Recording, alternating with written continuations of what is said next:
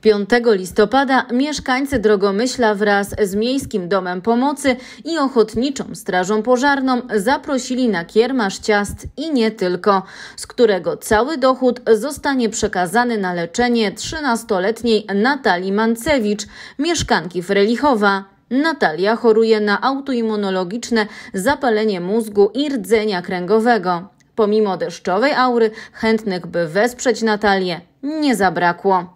E, Kiermarsz jest dla Natalki, e, wszystko to tutaj jest, e, to jest jakby zorganizowane przez mieszkańców Drogomyśla przy pomocy OSP i MDP Drogomyśl. Inicjatorem takim jakby zapalnikiem była Izabela Kidoń. Bardzo za to dziękujemy, dlatego chętnie wspieramy.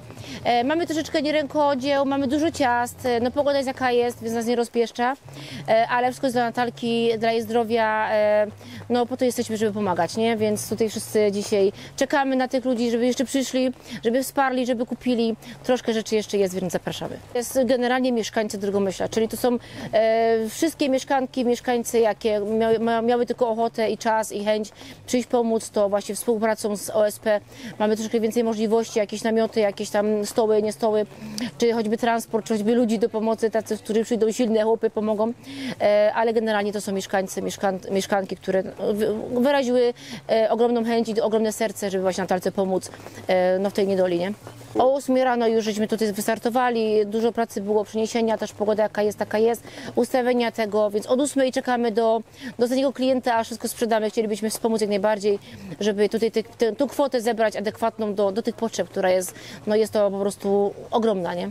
Mamy malowanie twarzy, mamy robienie warkoczyków, e, mamy watę cukrową. Tutaj jest mistrz od tego, który już to zawsze wykonuje, więc e, polecamy. Oczywiście rękodzieła, nawet są i maści, są nawet e, miody, są makarony domowe, więc naprawdę jest dużo ciekawych rzeczy, rękodziełów, aniołków świątecznych, no więc zapraszamy do wsparcia. My jako OSP, jeżeli cokolwiek się dzieje na naszej miejscowości, zawsze jesteśmy.